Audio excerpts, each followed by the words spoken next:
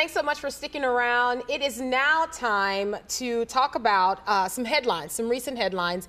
And as always, Eddie V here to talk with me about um, just some things that I've come across that I go, Okay. this is kind of unbelievable. But no, this is real. This is quite real, and these are actual headlines. And so let me just start by asking you this. Now, you know, I know where you work, and I know that there's not an elevator where you work, but do you ride elevators on a regular basis? Yes. Okay, Whenever I have to go more than one floor. oh, then you. I use you- elevators. Okay, then you would be one of those people, according to this recent study that's out, that elevator riders loathe. Okay, so recent Okay. study, um, a survey conducted among about 4,000 full-time U.S. employees, right? And the question was this: you mean the, America has 4,000 full full-time employees? This- There you go. You wouldn't believe it looking at the, headlines. The economy's picking up. All but right. he- we're on our way. And, and, and so the question was, what annoys you most in elevator riding, right? When you're riding on the Okay. elevator, okay? right. And so I just want to throw some of these out to you. And I, and because because the things that people said that annoyed them, some of them I have never witnessed. Oh. And so these things were bizarre to me. Okay, so here you go. Okay. Flossing teeth. while no. people that- flossing their teeth. That goes beyond annoyance. Okay. That's disgusting. changing a diaper, a baby's diaper while in the elevator. I want to know flossing? To what? Oh, wow. I want to know what floor these that people go into. You know Yeah. what I mean? Where are you going that you have time to do all this? Yeah. And then here, this one, showing someone a rash and then asking for a diagnosis. A total stranger? I don't know, I don't know. But I read these and I go, this cannot really be happening. And but here, can you guess the number one? So there was kind of like a what's the most annoying thing? Uh, More annoying than those things. more annoying than those things. Can you can you guess what number No, one and was? I'm just and I'm just trying Throw to. it out. I'm still with the rash thing.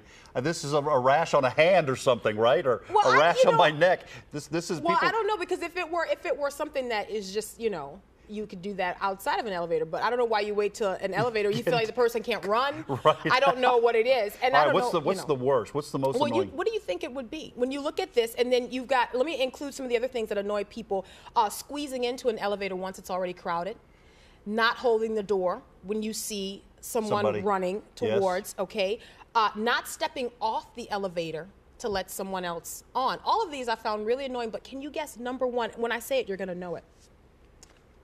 I can't guess. Talking on your cell phone. Well, that you know that gets to be annoying just about anywhere. I was really surprised though. I, I thought That's that's more annoying than someone flossing their teeth. changing a baby's diaper, talking on your cell phone is the most annoying thing that But people but do. that's probably I'm guessing that that the number of people who floss or ask for a diagnosis of a rash is probably a very small number, but probably everybody has been on an elevator Yeah. where somebody is talking and you and, and they don't just talk on their cell phone, they talk loudly. well, because we, most people think that a cell phone is like a walkie-talkie and you've Right. got to yell into it. They Which don't my know wife that- accuses me when I call my dad, who is in Florida, on the phone. I always talk louder because he's long distance. not because he's Italian. No, no, not no, because, no, well, not that, because maybe he's that Italian. too. Maybe good, yeah. So anyway, that's it. Number one, talking on your cell phone, more annoying than even. And people reported that someone getting in and facing the wrong way is annoying, but not more annoying than talking on. Have you ever I- done that? Uh, have I ever done it? No. Face the wrong way in an elevator? No. Instead it's of just, facing the doors. door. yeah, but you turn the other way, it freaks people out. Yeah, I, I read that. a list. It went around the internet several years ago about weird things to do on elevators. Yeah. and that was one of them. Uh, or it was it was to try to freak people out. Right. Uh, or to just suddenly say, "Stop talking to my head," or so, you know, or, or those, or just really weird things that nobody would uh, do if in their right minds. Well, apparently, according to 4,000 U.S. employees, people are doing this, and it's really driving them nuts. Okay, you ready for this? All right. Six-year-old kid goes into uh, the doctor's office after several years of having a hard time breathing and sleeping at night, and they thought he had all kinds of uh, sinus issues, you know, Allergies and- allergies yeah. and all of that. Turns out, for the past three years, he's had a Lego piece stuck up the shaft of his nose. When he was three years old, he stuck it in his nose, and apparently, Did- did Dad he- didn't know. Did he not start talking differently? I mean, if you if you start talking like this and have pressure in your nose, They, they thought maybe it was allergies. They thought a sinus infection. Dad felt horrible. Dad, and here's the deal though: he'd gone to several doctors and they couldn't find it.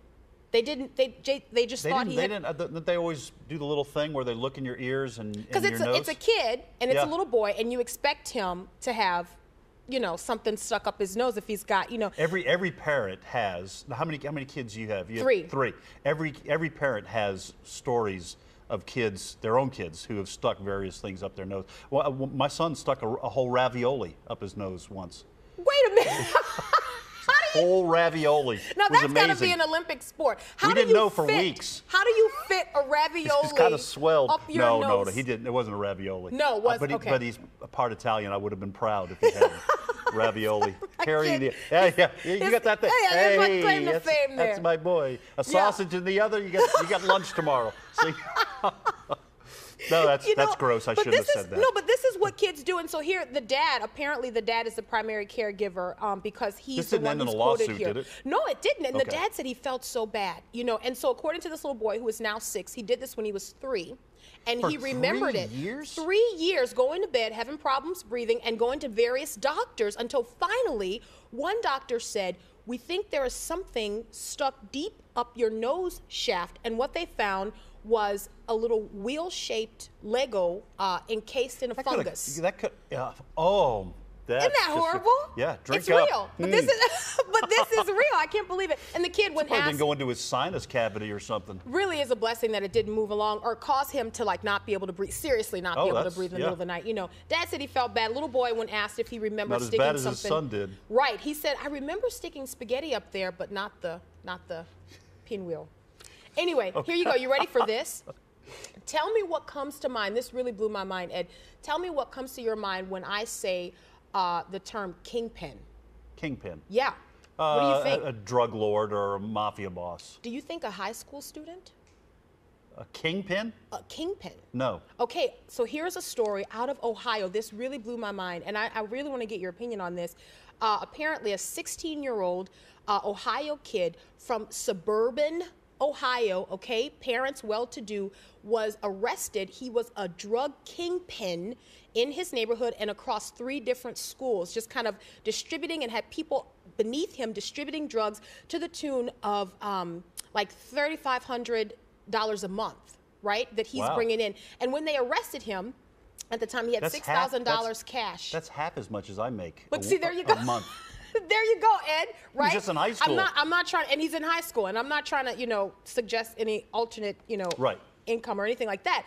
But here's the deal, and this is this is my question: Is it believable that the parents didn't know? Well, I don't know. It, it, it, it would depend on how smart the kid was and how stupid the parents were. Well, if they're well to do, maybe he already has a lot of stuff, you know, and so what's a few more things? You know, if Yeah. he's got a lot, if he's got a really big allowance and he's got all the music and all the movies and all the games he wants, and the parents don't bother him, they may, may never check to see. When he was arrested, there was six thousand dollars cash in his bedroom. Yeah. So my so he's a question saver. is, he's a saver, not a spender. Well, should the parents have known, Ed? Is and you know we, we always we don't want to accuse the parents. We want it because we're parents, so we understand, you know.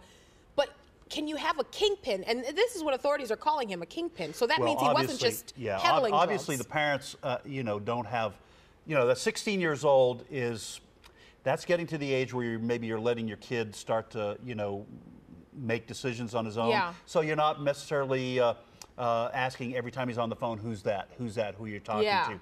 But that, you know, if if he's away from home, you know, one of the one of the biggest changes to American life that ever uh, occurred occurred with uh, automobiles becoming commonplace for families, and more than one, where kids can take off and do their business outside the uh, outside the home. So apparently, too much freedom this kid had. Well, Ed, not. I mean, these headlines You weren't what all he needed? hilarious, that kid needed right? a good Lego up his nose. He needed Di- Discipline this kid. Parents, you remember that. There you go. You start having problems with your kids. Just use Lego. the Legos. Legos are your friends. Thanks so much, right. Ed. Ooh, it's time for me to tell you what's got me all pinned up this week. We are talking fashion. You know, I peruse Pinterest and there are a lot of things that I repin here and there. Fashion is one of those things, and so I thought, wouldn't it be great to have some fashion experts in studio with me this week to talk about what the trends are going to be as we head into the change of season? We're talking about fall fashion. So I've got a couple buyers from Reeds of Tupelo in studio to talk about just that. So I've got Dale Simmons and Krista Blanchard, who are buyers for Reeds, and you guys are going to kind of walk us through what we can expect to see as far as fashion goes this fall. Dale, how about we start with you? That's great. And and let's start with with this gal right here. Okay. Like, what is she doing? All right, Meeke. This gal is wearing Eileen Fisher. She um, has on a wonderful mustard colored jeans. Okay, is that one of the colors that we're looking at for mustard the fall? is. Mustard. You're okay. wearing it. Oh, I'm so happy You're to hear you say. I was nervous, Dale. I thought I wouldn't look right. You guys are fashion experts. No. Okay, good. Uh, what we're doing here is we're um, showing all the colors in this wonderful sort of a um, boho chic uh, Yes. scarf, Okay, which good. you can wear as a shawl or whatever.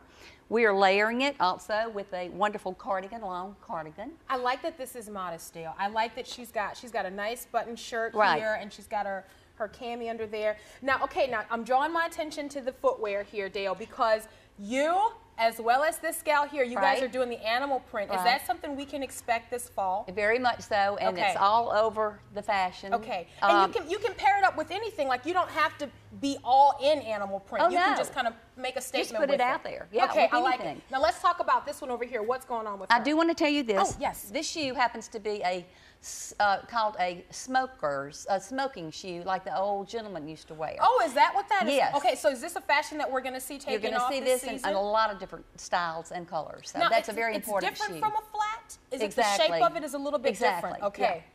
Uh, this outfit is another Eileen Fisher look. I happened to bring this because we wanted to show these colors today. Yes. The cobalt blues, the mustards, and how versatile they are with everything. So it too has a silk layering piece underneath, um, paired back with a, a wonderful, just a, a, it's a crepe, washable crepe, straight leg Very pant. straight leg. I like that. Very Mm-hmm. These are Vince. Camuto boots that Love she's those. wanting to wear today, um, mixed back with this gorgeous scarf, which has all the colors that we think are important for fall. Okay, so now here's what I like because we know that when we were in the spring and in the summer, color was all the way. We had color blocking and then we had like almost kind of these neon splashes of color. Right. So we're not going to put that aside as we head into fall. We're going to keep that going. with Exactly, us. exactly. Ooh, They're love all that. important. Okay, Krista, what did you have today? Let's talk about your girls. Okay, so I've got this gorgeous, this really classy, classic looking Trina Turk animal print dress. Mm-hmm. It's it's going back to all about the waistline Yes. for fall. We've been seeing the more fuller dresses Yeah. and tops. Well, it's going back to more of the waist. Okay. This one is a great example of that. It kind of really pulls shows in here. off. It's very It- forgiving. Gives Exactly, a great it does. Another thing that I would like to tell you is that hemlines are going to be all over the way. I mean, it's different hemlines. With this dress, you can't really tell on this mannequin, but mid knee, below the knee, those hemlines are coming back. Oh, You'll see a lot more of that, so you'll be, you know, have a lot easier. Um, Finding dresses that are flattering that you feel comfortable in. right, I like, for church and Let's to talk work. about this statement piece because this is a huge pop of orange. I love this. Says fall. I love that. It does. It is definitely a statement piece, and it is the J. Crew. This one is kind of uh, J. Crew's the one that came out with this, I believe. Um, but they're all over the market. You'll see them everywhere. This is a bubble uh, bib necklace. You'll see them in great colors, but like you say, your statement piece that you can just throw on with even a t-shirt and jeans, and it'll just look. Now, Krista, is she going to wear this with this handbag? Is this does this go with this outfit here? Yes, I like. This. I brought this hobo little clutch. Mm-hmm. I love this. Back with this, and then I brought the little, um, I would say 50s inspired little vintage Vince Camuto Oh, pumps. I love Krista. those. Oh, I love The little that. bow detail. So cute. I love the heel on I this too. too. It's a wide heel. Okay, what about this gal over here? What's she got going on? Okay, she is a prime example of everything that's going on this fall. Perforated leather, this BCBG jacket is really a huge trend for fall. Perforated leather is what you Yes. call. Wow. Okay. Okay. Uh, you'll see this in your accessories as well, like in your purses. Um, we have paired it back with a pair of Seven for All Mankind floral skinny jeans that have all the great colors like the pumpkins, the mustards, Yes. the burgundies. Burgundies is going to be a huge color for fall. It's going to kind of almost take the place of black in some aspects. Really? Yes. And we have um, just really accented this outfit with the mustard accessories, the bauble necklace, the hobo crossbody. Crossbody purses is another piece that is just great because no more of the hurting shoulders. You now have the crossbodies that, that. are very. Um, And she's got the J. Crew necklace here going on uh, as the other mannequin. Is this is this a J. Crew design? This necklace? Well, here? it's not. I'm No. just saying that J. Crew kind of is the one that came out with this necklace, and now it's all over the market. okay. So there are other designers that are. All designers. Are, Gotcha. And there, I'm sure there's another designer that came up with it. Um, Please, and then can we show we show this shoe? Yes. Because I I love this shoe, Krista. Okay. I do Here we go. These are Sam Edelman wedges. They're suede mustard. Uh, the color's great. The wedges, I mean, you can always, you know, wedges. You feel like you're dressed up, Yes. but yet you're not it gives unbalanced. You the height and without like the fear of falling, which I love. And then this, so we can still do this kind of open toe even in the fall. Yes, With this, this is not. We're not going to look like we're going summer shopping. We're ready for fall. right, this is suede. Yes. You will be definitely safe with this shoe. I love it. Let's go talk some accessories because there are things that you can put on an outfit that's really going to change it around. And you've brought some other pieces here with you today. So let's talk about what's here. Tell me about this shoe. Okay, so all accessories are definitely going more edgier. You'll also see that in your clothing. Um, this is a perfect example of that. This Vince Camuto flat has the detailed, the little nail head studs on the back's great look for um, love fall. that. Love the detail. Would of look that. great back with Dale's um, black and blue combo Uh-huh. outfit. Black and blue is two colors that are you're going to see lots of for fall Yeah. paired together. That's good. Um, and here is my jewelry. It's Yes. Sadie um, handcrafted jewelry that I design, and I've been doing this since 2005. And uh, this necklace, That's well, awesome. Go well, ahead. that's a yeah. good amber, but um, this necklace, another print and style that you'll see a lot of is Aztec. Um, kind of the tribal inspired and this necklace is a good example of that that um, kind of tribal inspired Love that. Now, if someone's watching today and they see something that they like, let's say, for example, the jewelry, they can go to your website. What is your website?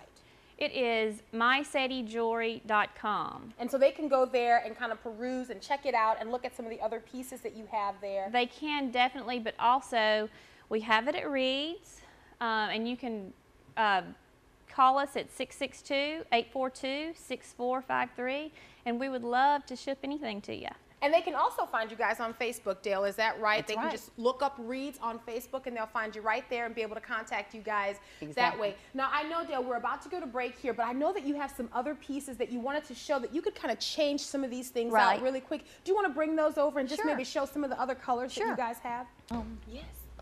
I just wanted to show that um, with a simple change in wardrobe, you can take this wonderful white silk shirt and add this accordion pleat skirt, which everybody loves. People are doing these in long and short styles. Um, great look. You can take your colored jeans, make it a little bit more serious with this long cardi. This is a houndstooth, I love that. Yeah. easy cardigan. It can also work with the black. We have a fun poncho with this teal color, and it is fabulous.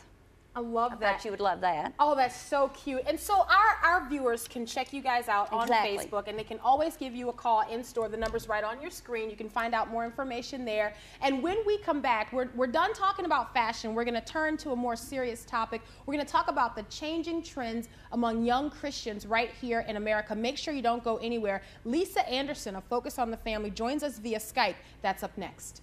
You know, there's a girl watching right now, and she says, I am in love with this man, and I am committed to him in my heart. Why do I need a piece of paper or a minister to say that we're one? We are one. But you know, for, for a while, I, I looked around and I saw other women um, in the homeschooling community who really felt that you know a woman's place was at home and that um, serving her family and her children in the house and um, being a helpmeet to the husband. And um, I started to develop this opinion of what a woman's role was that was very limiting.